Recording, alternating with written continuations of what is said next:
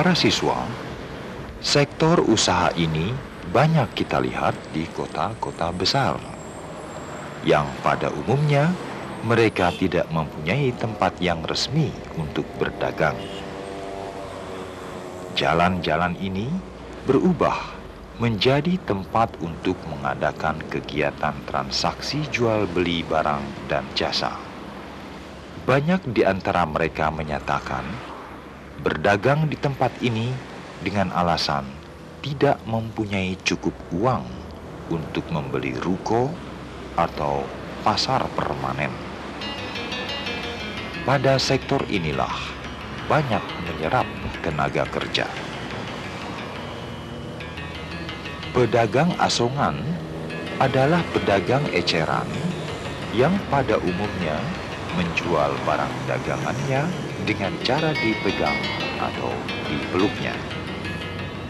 Mereka beroperasi di perempatan jalan, di persimpangan jalan, di terminal, atau di tempat-tempat yang ramai.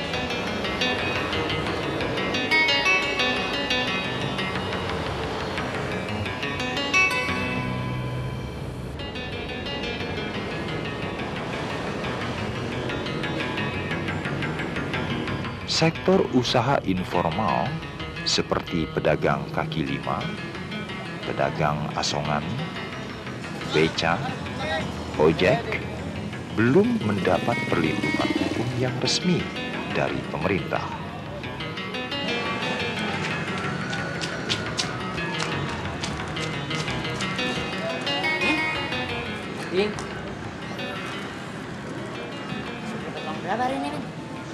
Sedikit. Soalnya hari ini aku lagi nggak enak badan nih. Ya sudah, jangan dipaksa. Kamu kok ngeliatin aku seperti itu sih, Ding? Min, aku ingin ganti kerjaan nih. Kenapa? Kamu bosan ya? Enggak, aku hanya ingin agar nasibku bisa lebih baik lagi. Emangnya berdagang asongan kurang baik?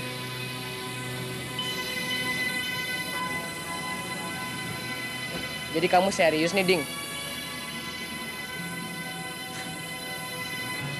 Ading, ading.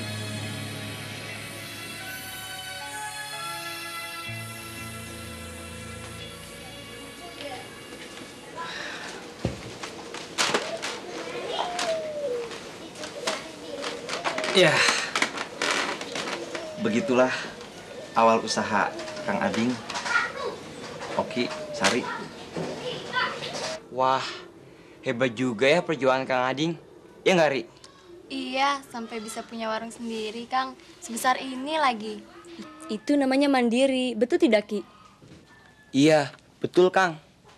Kang Adi, lihatnya Kang Adi. Iya, iya, sebentar. Sebentar ya, Oki, Sari. Siapa? Marni. Akang tinggal dulu, ada yang mau belanja di warung. Ya, nanti akan lanjutkan lagi ceritanya. Ya.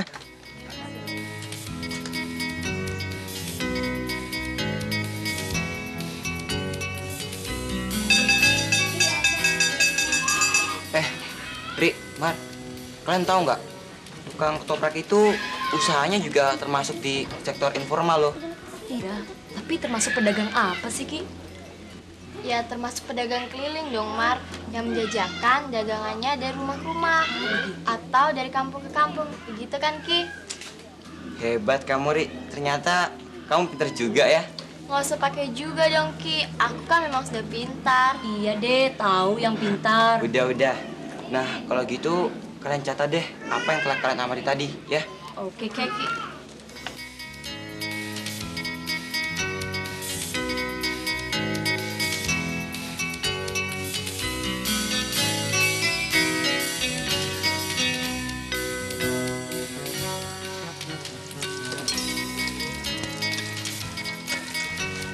Tadi mau beli ketoprak? Iya, ketoprak. Buat bapak kan? Kasih, Kang. Ya.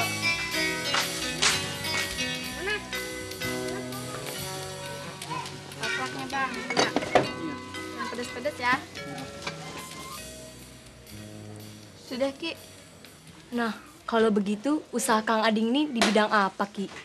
Hmm, usaha kading ini Jelas di bidang perdagangan. Karena dagangannya berbentuk barang. Oh iya Ki, bagaimana dengan bidang jasa, angkutan, bangunan, dan industri kecil? Sabar dong, Ri. Sebentar deh. Kayaknya kita kan belum bicarakan itu. Kita tunggu Kang Adingnya. Ceritanya juga belum selesai kan? Bagaimana? Oki, Sari, Marni, mau Akang lanjutkan ceritanya? Oh iya dong Kang, kita semua kan belum jelas. Eh, begini. Walaupun Kang Ading hanya bermodal ijazah SMP, Kang Ading mah tetap tegar. Justru Akang mencoba mencari pekerjaan lain yang Akang anggap lebih baik.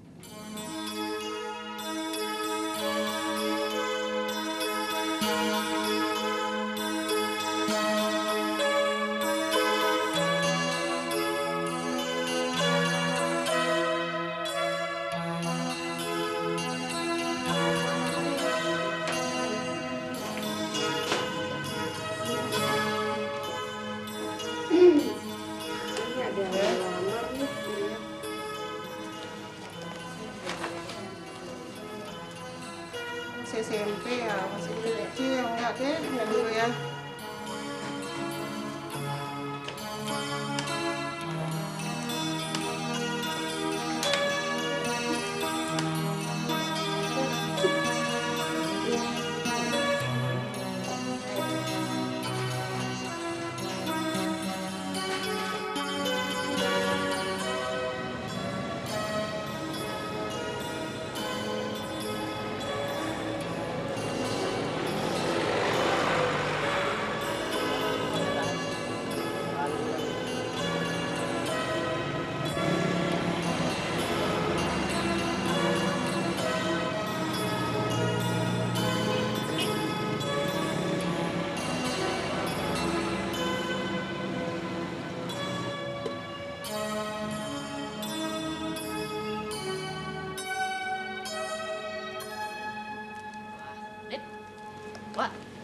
Bagaimana kabarnya? Baik.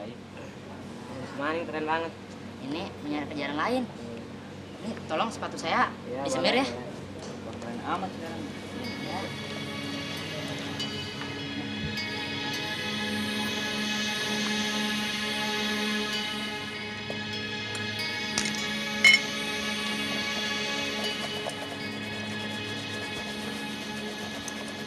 Lip, wah.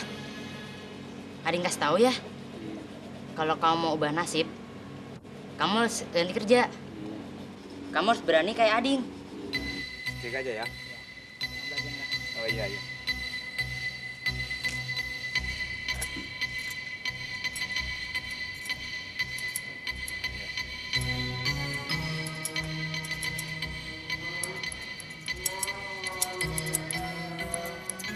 Sektor usaha di bidang jasa ini aktivitasnya tidak terorganisir secara baik karena tidak melalui perencanaan yang matang. Pada umumnya, tidak memiliki izin pemerintah. Pola, waktu, dan tempat usaha tidak teratur.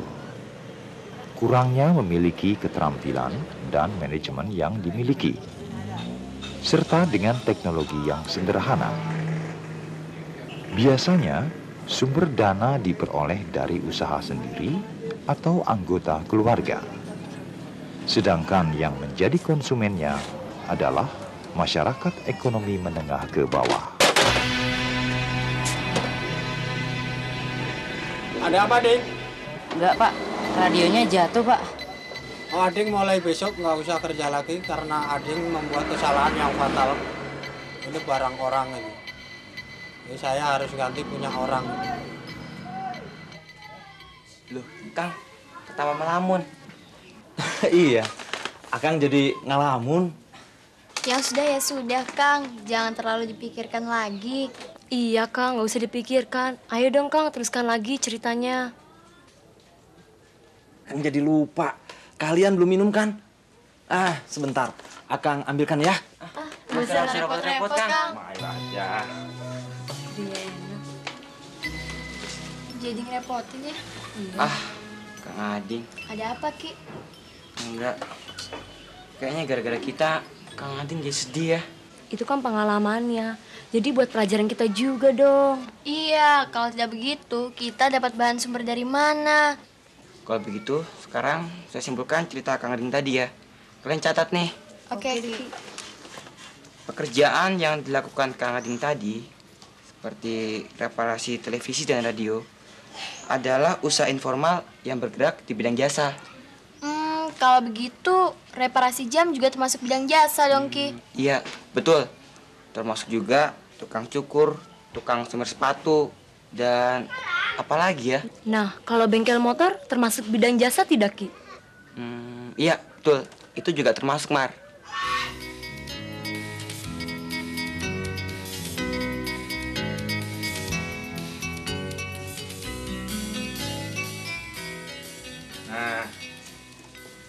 Ini airnya. Kalian minum ya.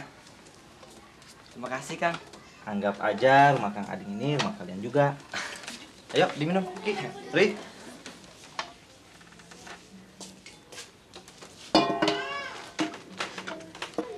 Hmm, oh iya. Mencatat ciri-ciri sektor informalnya, kita lanjutkan nanti saja ya. Oke deh. Kang, ngomong-ngomong, saya masih penasaran sama cerita Kang tadi. Iya, Kang. Kan tadi Akang ceritanya dikeluarkan dari tempat reparasi. Yang saya heran, kok Akang sekarang bisa punya usaha yang wah, lumayan besarnya, Kang. Oki, setelah Akang dikeluarkan dari pekerjaan, Akang teh jadi bingung. Akang mau cari kerjaan apa lagi? Akang memang dikasih uang satu bulan gaji. Tapi Akang harus berbuat apa dengan uang sedikit ini? Terus eh, dasar nasib Akang baik. Waktu Akang pulang, Akang melihat bapak-bapak dompetnya jatuh waktu dia ngambil kunci mobil di halaman pertokoan. Nah, terus Akang pungut itu dompet. Akang kejar si bapak-bapak itu. Waktu itu si bapak baru mau naik ke mobilnya. Lantas Akang serahkan ke si bapak itu dompet. Si bapak rasanya senang, gembira. Apa-apa, Malah Bapak dikasih kartu nama. jangan lupa itu ya. Katanya kalau Saya tunggu ya. Akang ada perlu apa-apa, Akang disuruh ke rumahnya. Alhamdulillahnya, Akang malah dikasih kerjaan di pabrik batakonya.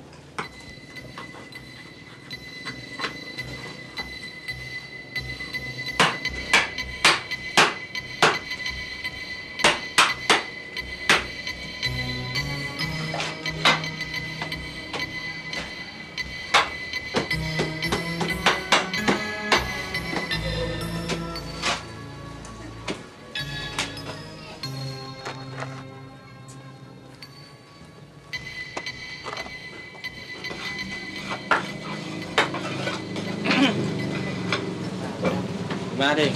Kita kerja sini. Terus, terus gajimu kamu tabung kan? Iya, Pak. Nah ini begini deh. Kamu punya keinginan buka usaha lagi nggak? Saya ingin buka warung, Pak. Tapi modalnya belum cukup, Pak. Ah masalah modal gampang itu nanti bapak bantu ya. Ya deh, silakan silakan kerja lagi nih. Siapa kerja ya?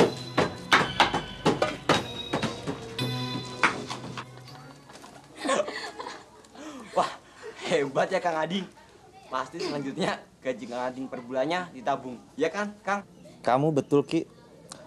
Dari hasil tabungan gaji Kang Ading inilah Akang jadikan modal untuk mendirikan warung. Sedangkan eh, kekurangannya Akang dibantu oleh majikan Akang. Oh, begitu. Jadi, pengalaman kerja Kang sudah lama juga ya, Kang? Iya, Sudah berapa lama, Kang? ya cukup lama. Dari jadi pedagang asongan, terus Akang kerja di pabrik Batako, kemudian juga Akang kerja di reparasi radio, terus Udah sore nih, kita nggak pulang. Oh iya, sampai lupa waktu. Kang Ading, kita pamit dulu ya. Loh, kan cerita Kang Ading belum habis. begini Kang. Kami pikir cerita Akang tadi sudah cukup untuk bahan sumber tugas di sekolah kami Kang.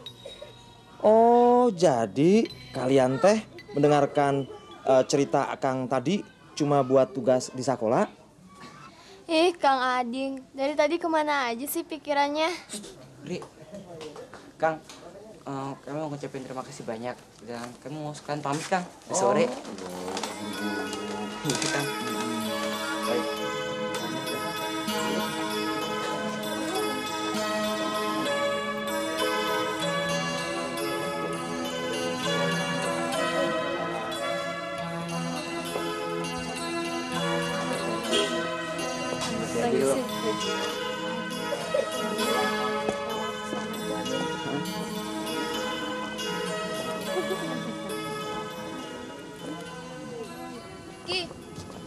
Jadi usaha majikan Kang Ading tadi seperti pabrik batako dan bengkel kusen mm, merupakan usaha informal di bidang bangunan ya Ki? Hmm, sepatu buat kamu, Ri. Ki, capek nih jangan terus. Kita naik apa dong pulangnya? Eh, kalau gitu kalian berdua naik beca, biar aku naik ojek. Gimana? Oke, deh. deh. Yuk.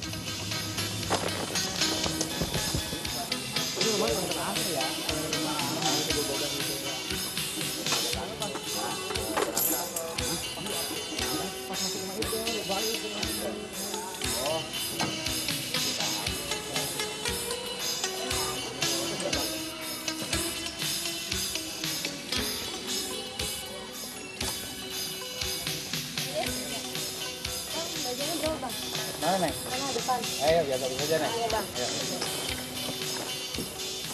Ki, Apa? kalau tukang ojek dan tukang beca termasuk usaha di bidang apa sih? Ya angkutan. Ah, udah, kamu kunci aja.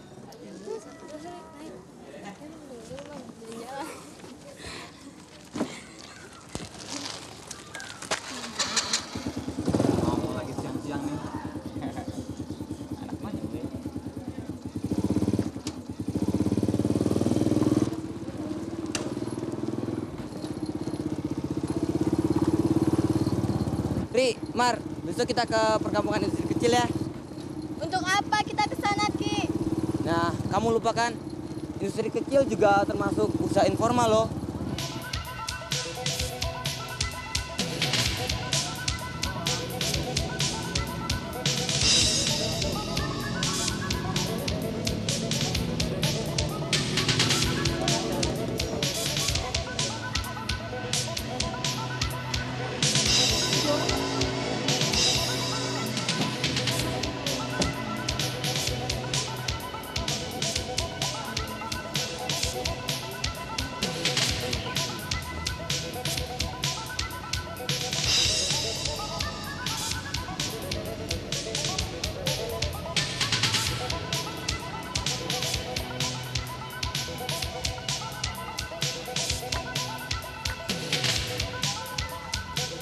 Nah, para siswa, dari uraian-uraian tadi dapat disimpulkan hal-hal sebagai berikut.